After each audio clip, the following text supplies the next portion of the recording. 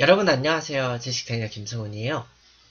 자, 올 시즌 KBO 리그에서 외국인이 교체된 사례가 딱 한 번 있었죠. 기아 타이거즈가 어떻게 보면 그 팀 성적이 꼴찌로 내려갈 때 좀 충격 요법으로 제레미 헤즈베이커를 프레스턴 터커로 교체를 했었죠. 근데 이제 사실 헤즈베이커의 교체는 누가 봐도 예상이 된 수순이었어요. 일단은 헤즈베이커가 정규 시즌 개막하고 나서 보여준 것도 제대로 없었고 그리고 사실상 4월부터 1군에서 말소돼서 저기 어? 퓨처스 있는 퓨처스 있는 그 한평에서만 계속 있었지 광주로 못 왔거든요.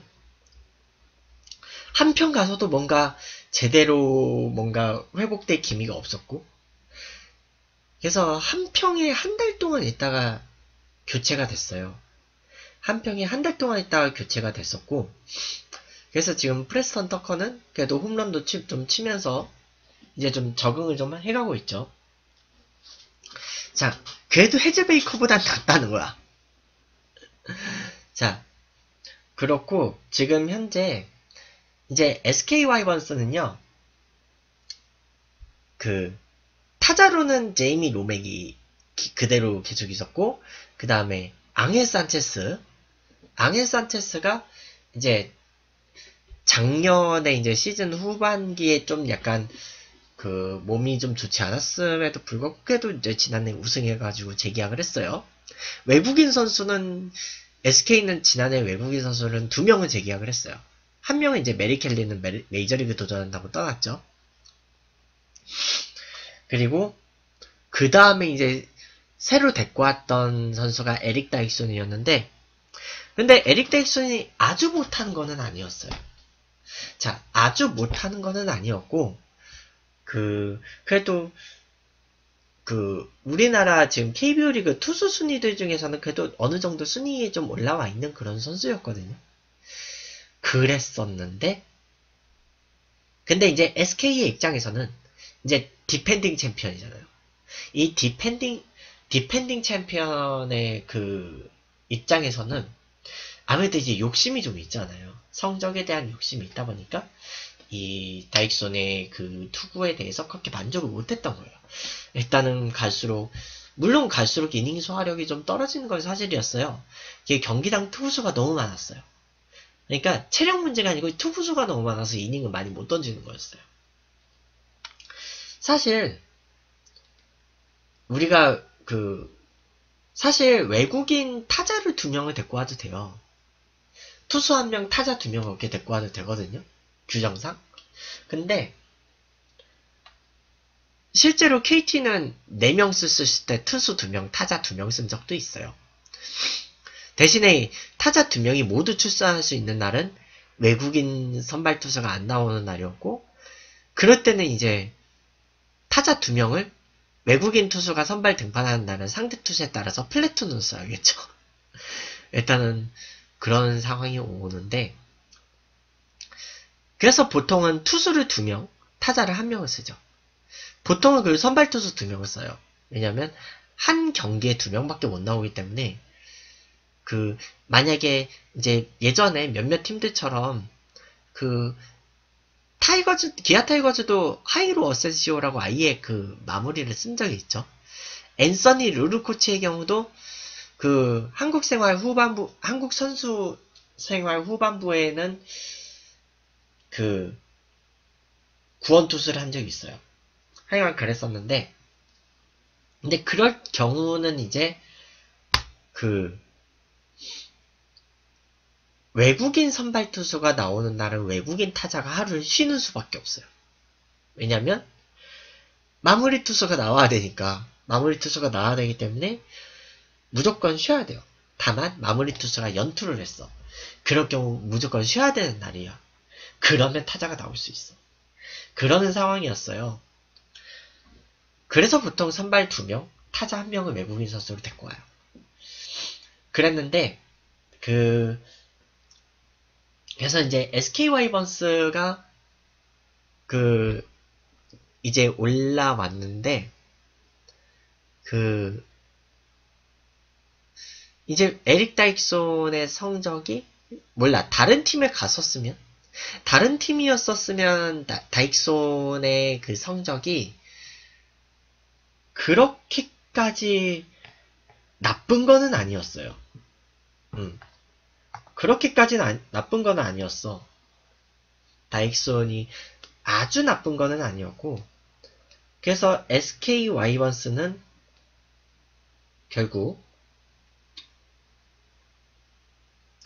다익손을 웨이버 공시하고 그리고 좀 계속 루머가 있었어요. 헨리 소사가 그 대만 리그에서 완전히 그 리그를 지금 막 씹어먹고 있을 정도였다고 해요. 그래가지고 그 소사가 아무래도 이제 KBO 리그에서 굉장히 오래 뛰었잖아요. 일단은 기아 타이거즈에서 뛰었었고 히어로즈에서도 뛰었었고 그 다음에 LG 트윈스에서도 뛰었었고 이번에 SK 와이번스가 네 번째 팀이에요. 어떻게 보면 소사는 음 어떻게 보면 이제 더스틴 리퍼트를 능가하는 그런 엄청난 용병이었죠. 그리고 소사는요 아직도 30대 중반이에요. 리퍼트하고 달라. 소사가 지금 만으로 34살이니까 나보다 많아요. 헥터 노에시가 나랑 동갑이거든요. 헥터는 나랑 동갑인데, 음, 헥터는 저랑 동갑인데, 소사가 나이가 더 많아. 니퍼트보단 젊어요.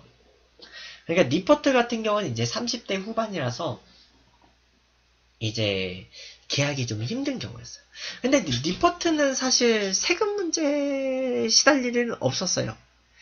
니퍼트는 세금 문제에 시달릴 일은 없었고, 근데 이제 니퍼트는 이제 나이가 들어가면서, 그래서 이제, 사실 두산 베어스에서 니퍼트의 노쇠화를 두고, 이제 니퍼트하고 재계약을 안 했던 거였고, 음, 그랬고, 그랬던 상황에서, 이제, KT 위즈가 니퍼트를 썼죠. 니퍼트를 잠깐 썼는데 이제 KT 위즈는 젊은 선수들을 많이 좀 찾고 있는 팀이잖아요. 그래서 니퍼트가 재계약을 못하게 된 거죠. 음. 그래가지고 양희지 선수가 리퍼트가 이제 KBO 리그를 떠난다는 사실에 이제 지난번에 양희지 선수가 골든글러브 시상식 때 울면서 그 나에게 최고의 선발 투수는 리퍼트였다. 어. 그런 우정을 과시를 했죠. 뭐 어쨌든 그래서 더스틴 리퍼트의 경우는 미국 국적 자체가 미국이었기 때문에 물론 이제 한국 여자 사람하고 결혼을 했으니까 그 국적은 미국이었기 때문에 리퍼트는 사실 이제 미국하고 대한민국의 세금 협정을 맺은 관계라서 그냥 그 세금 비율이 그렇게 높지가 않아요. 음. 근데 그 소득세법이요. 그 외국 기존 소득세법에서는 외국인 선수와 외국인 감독의 신분이 비거주자였고 연봉의 22%만 냈어요. 세금을. 근데 이제 외국인 신분이 거주자로 바뀌었고 그래서 부가세율은 싼 연봉이면 22%, 비싼 연봉이면 46%. 그래서 그렇게 올라간 거예요. 음. 그래서 이제 국내 주소를 두거나 거소를 둔 기간이 183일이 넘어가는 날이 되면 거주자도 신분이 바뀌어요. 근데 이제 외국인 선수들이 한 시즌 머물면 6개월 이상, 반년 이상 머물잖아요. 그래서 거주자가 되는 거야. 음. 그래서 이제 소득세를 제때 신고하지 않으니까 가산세 폭탄이 나온 거예요. 그래서 장수 용병들이 대한민국을 떠날 수밖에 없었던 거예요. 몰라. 헥터 노에 씨 같은 경우는 아마 지금 이후에도 아마 앞으로 한국에 내야 될 세금이 좀 아직 많이 쌓여 있을 거예요. 음. 근데 그래서 소사는요. 2015년부터 이제 세금이 인상이 됐잖아요. 그래서 2015년부터 2018년까지 내야 될 세금이 지금 한국 돈 기준으로 9억 원이 넘어요. 그리고 이제 일단은 지금 당장 내야 될 세금 있죠. 2015년과 2016년에 내야 될 부가세금은 일단 3억 3천이에요. 그래가지고 음 뭐냐 52만 달러 그러니까 계약금이 35만 달러고 연봉은 17만 달러예요.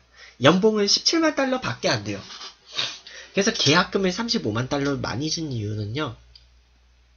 연봉은 월급이잖아요. 연봉은 월급으로 줘요. 경기에 출전한 만큼 줘요.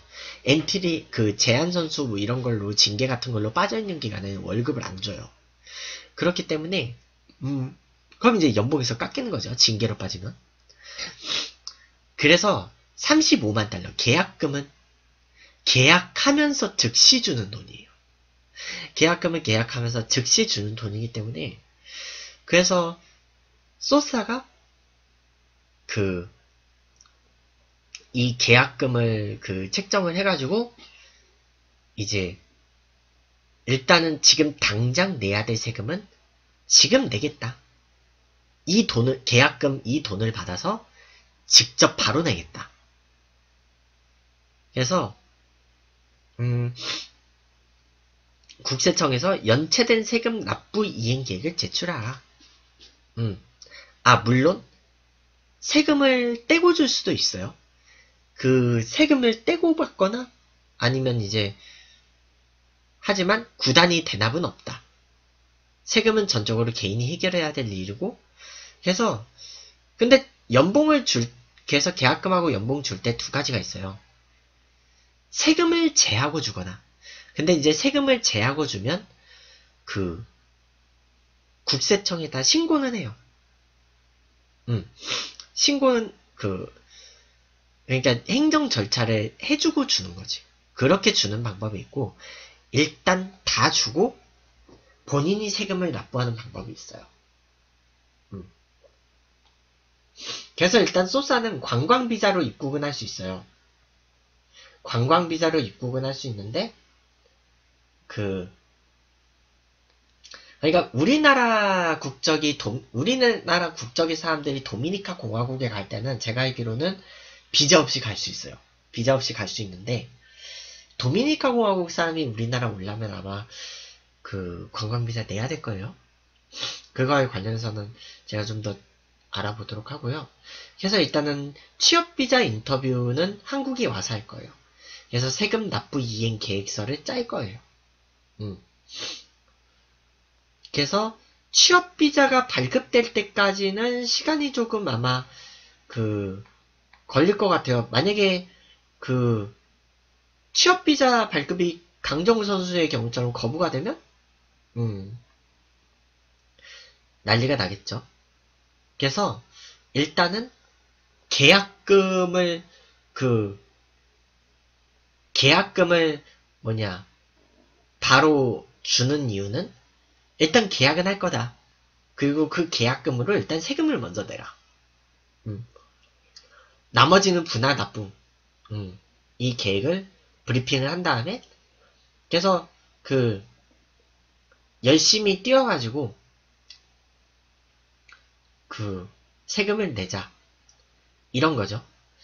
그래서 소사가 어떻게 해서든 나는 세금을 완납하겠다 그런 의지는요. 만약에 올해 그 지금 외국인 선수 규정은 그거예요. 신규 계약은 그러니까 그 뭐냐 그 일단은 그 팀에서 처음으로 영입을 할 경우는 100만 달러를 초과할 수 없어요. 음. 100만 달러를 초과할 수 없는데 재계약은 100만 달러를 넘어도 돼요. 원소속 팀 재계약은 100만 달러 넘어도 돼요. KBO 리그에서 다른 팀으로 이적할 때는 다시 100만 달러를 초과할 수 없어요. 그래서 니퍼트가 사실 재계약을 못한 이유는 그거예요. 니퍼트를 재계약을 하려면요. 100만 달러 이상을 줘야 돼요. 니퍼트를 계약을 하려면. 근데 KT 입장에서는 100만 달러 이상의 재계약을 하기도 좀 그래. 그래서 다른 팀으로 보내자니 다른 팀에서는 100만 달러를 넘길 수 없으니까 리포트를 데려오기가 좀 그런 거야. 음. 그래서 소사는 음, 대신에 올해 잘하면 계속 이제 뛸 수 있으니까. 음. 그래서 나머지 세금 내년에 내고 그 뭐냐 개인 재산도 뭐 나중에 하, 그 처리하겠다. 그래가지고 그 와이버스 계약서 서명을 했대요. 그래서 그 3억 3천만 원 정도의 그 뭐냐 미납금이 있는데 이걸로 우선은 해결을 하겠다. 어.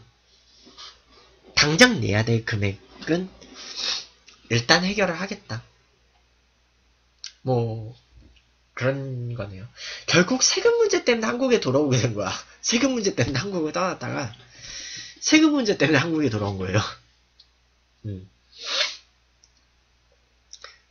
당장 그 일단 급한 세금 먼저 내고 자 그러면 이제 헥터노에 씨는 세금 문제를 어떻게 해결하고 있는지 솔직히 모르겠는데 한번 헥, 헥터도 한번 좀 찾아볼까?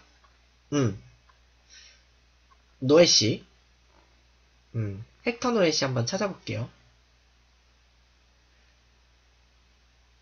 지금 헥터 노에 씨는 일단은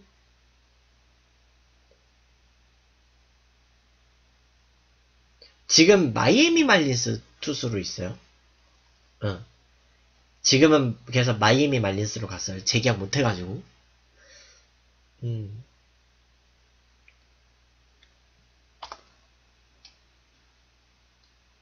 일단은 뭐 그랬단 얘기고요. 음. 지금은 헥터 노에시 음. 헥, 헥톤 노에시 해가지고 현 마이애미 말린스하고 마이너리그 계약을 했는데 뉴올리언스 베이비 케이크스 뉴올리언스 베이비 케이크스는 그 2007년에는 그 박찬호 선수가 뉴욕 메츠 있을 때는 메츠 산하 마이너리그였어요. 음. 어. 트리플 A에서 1점대를 찍고 있대요. 1점대 평균 자책점. MIAB.com. 음.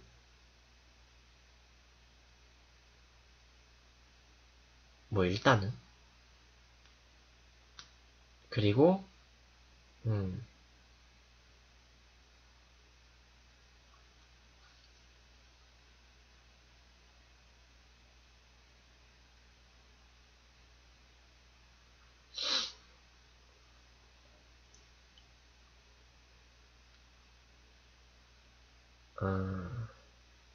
노예씨로 등록할 경우는 노예라는 이미지가 떠올려가지고 음.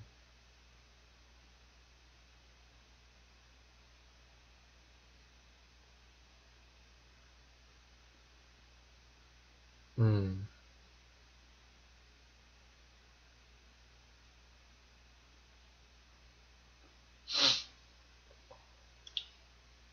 어쨌든 음, 헥터는 글쎄요. 근데 헥터도 지금 마이너리그에서 1점대 찍고 있는데 헥, 터는 마이너리그에서 1점대 찍고 있는데 과연 근데 헥터가 만약에 이 세금을 완납을 할 수 있는 그런 자신이 있으면 아마 그 마이너리그에서 받은 연봉이 얼마일지 는 모르겠어요. 그래서 그 뭐냐 물론 지금은 스플릿 계약 상태니까 그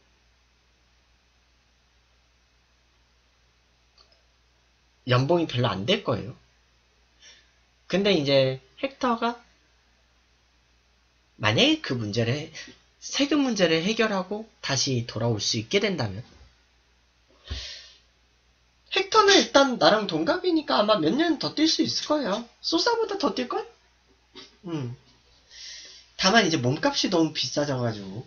그러니까 이거는 사실 세금 문제를 어떻게 보면 제대로 처리를 못했던 구단 탓이에요.